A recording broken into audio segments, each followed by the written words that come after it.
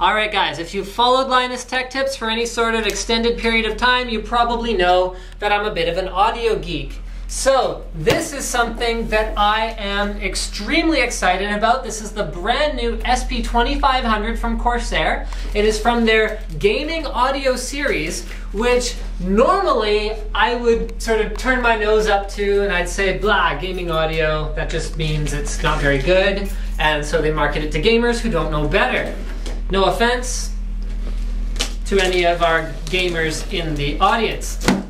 But Corsair has taken a completely different approach to this particular set of gaming audio speakers. This is a 2.1 setup, and they have aimed to build the best overall speaker setup that they can in a price range that gamers can still afford. So why don't we find one side of this box or other that has some specifications on it that I can show you, and we'll go through what Corsair has to say for themselves about this setup. So first thing over here, we see that Corsair has a two-year warranty on it.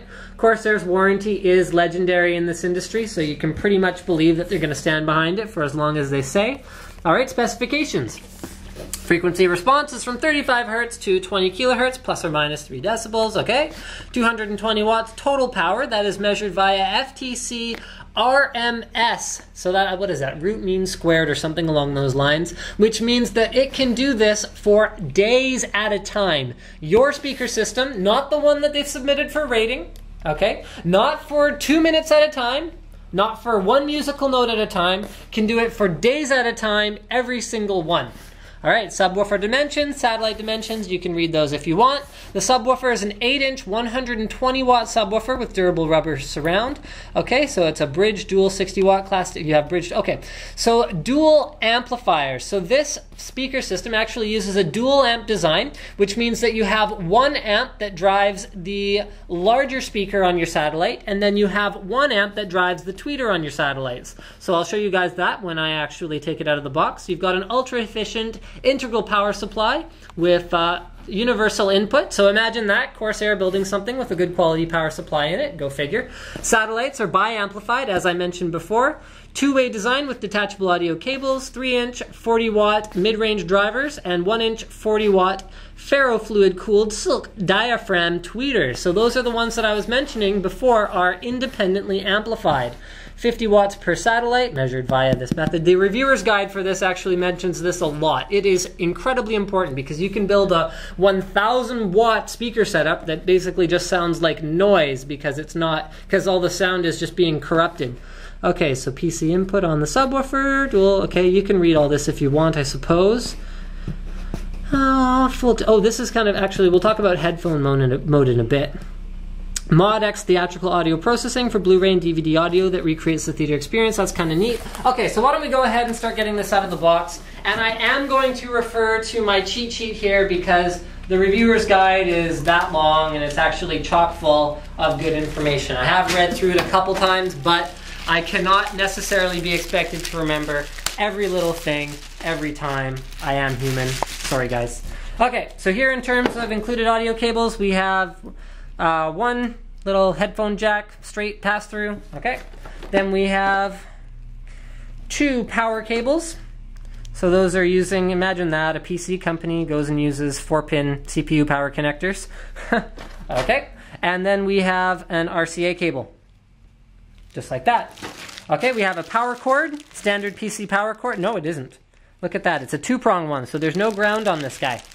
I guess you probably could use a grounded cable, it just wouldn't be uh, it wouldn't be grounding out via that third prong. So we're packed using environmentally friendly ow, environmentally friendly cardboard packaging. Love to see that. So I'm just going to go ahead and start taking this stuff out here. And that is the subwoofer. That thing's big. Oh, here we go. Go documentation. So let's see what we have in terms of documents that Corsair is going to tell us how to use it with. So stop, do not return this to the store.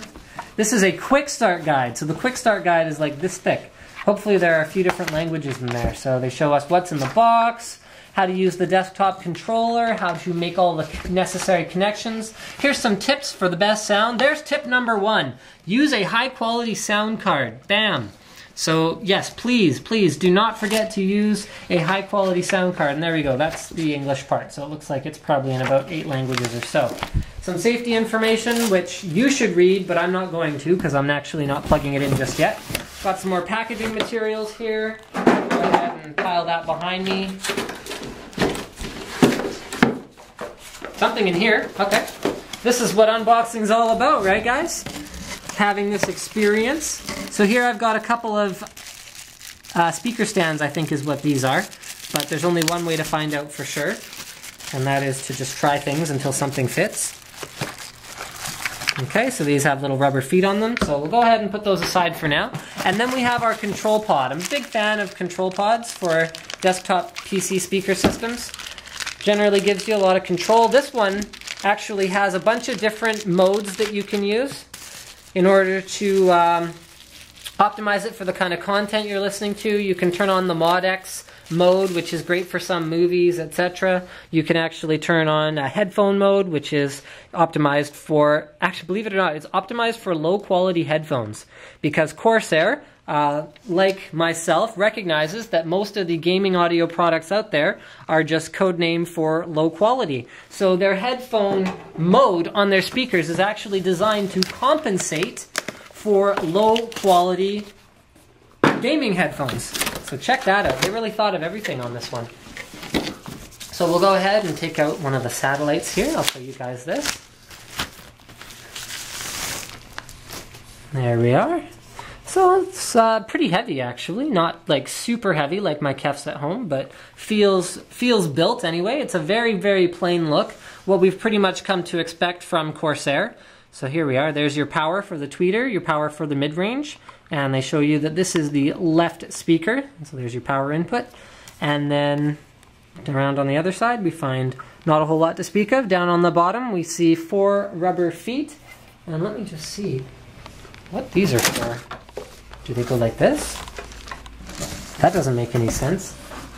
Where's the picture? Oh, we'll figure these out in a bit. Okay, so there's one of the tweeters, or one of the tweeters, one of the satellites rather. So here, we'll grab the other one and then we'll pull out all of this packing material so we can get access to the subwoofer. I'll never be able to pack this back together. Thankfully I don't have to. Okay, so here's the sub. And we'll go ahead and move the box. Thanks, cameraman.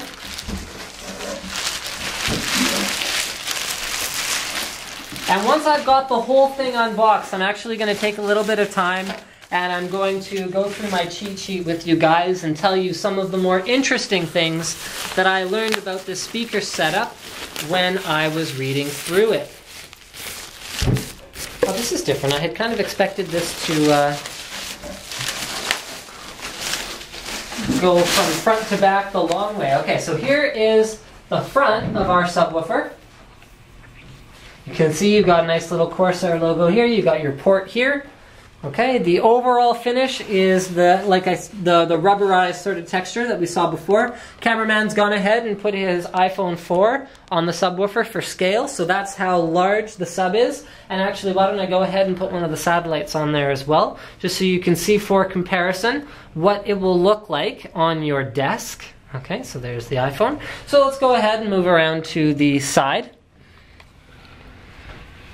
go ahead and show you guys what it looks like from this side. So very, very, very plain. What you'd expect from a quality piece of audio equipment. It shouldn't really stand out. It should be all about the sound it makes, not the uh, appearance of it.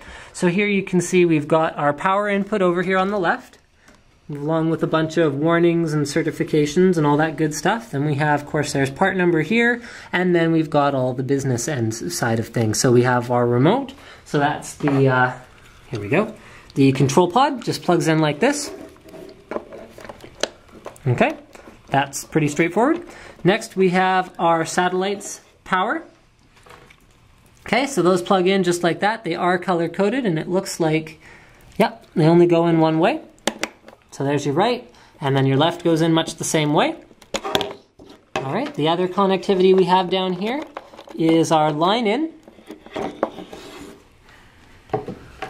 So you can see we have our left and right, and then an auxiliary input. So that's pretty straightforward. And you can see that we have not only the auxiliary 1 here, but we also have our auxiliary 2 input on the back of the control pod, as well as a USB connection. So I'll be back in just a minute. So I'm totally going to cheat a little bit because it's an awful lot to remember. There's lots of charts and diagrams, so we'll go through some of this together. But I'm going to show you some of the stuff that Corsair has to say for themselves in their reviewer's guide. So I already mentioned the bi-amplified satellite speakers. Oh, we did find out what these are for. So these are stands. You do want to ensure for the best possible stereo experience that the satellites are mostly pointed at you. So that means if you're sitting at a desk and your desk is kind of below you, you would want to position these under the front two feet of the speakers in order to have them pointed more at your ears and rather than at your chest. So that is the reason that they've gone ahead and included that. Okay, studio quality digital crossovers. So this is a good thing to talk about a little bit. I'll let cameraman sort of check out the speakers while I drone on over here. Oh, actually, no. First thing. This has a 1.8 inch TFT color display readable in daylight or at night. So I'll go ahead and make sure that you, oh, rather. So I'll go ahead and make sure that I show you guys what this looks like in one of my follow-up videos for this, uh, this speaker set. Okay, uh, studio quality digital crossover. So you know what? I'd really recommend going ahead and reading one of the online reviews about this if you want to read all of this. But basically, what it means is that you are going to have a more, you're going to have a much finer control over what part of your audio signal gets played through the subwoofer, what part gets played through the mid speakers, and what part gets played through the tweeters. That's pretty much what it means. Okay? Technical overview, they're basically saying that their subwoofer uses a fourth order bandpass design rather than a simpler ported bass reflex. Did I say bass? No, I said bandpass. Good. Rather than a simpler ported bass reflex subwoofer. So these two diagrams, you know what? I'm not an audio engineer. I don't know the benefits of that design, but it's definitely worth mentioning to you guys in case you do know the difference. They talk on. Oh, Hold on, don't necessarily show them that. I don't know if they can see that. So uh, they talk an awful lot about why using the FTC standard for power output matters, and I'm going to summarize a couple pages in the reviewer's guide as well, it means that it can provide that power over an extended period of time. It also means that that power is going to be balanced between the different parts of the speaker system because you could buy a 500 watt speaker system that has a 450 watt subwoofer and 225 watt satellites and it's going to provide a very unsatisfactory listening experience if you're doing anything other than listening to explosions. So that's why that is important. You have a late night mode, which I should have mentioned before, but what it does is it just adjusts the crossfire, crossover point so that the satellites are going to play of your bass than the subwoofer, which means that you're not going to bother your neighbors late at night. Headphone processing mode, I mentioned before. The Mod-X processing is for making it sound more like a theater. And Corsair really recommends, they're, they're not going to go ahead and say that, yeah, this is the be all and end all. It's that simple. They're just saying you have this option, you can try it out. If you like it, great.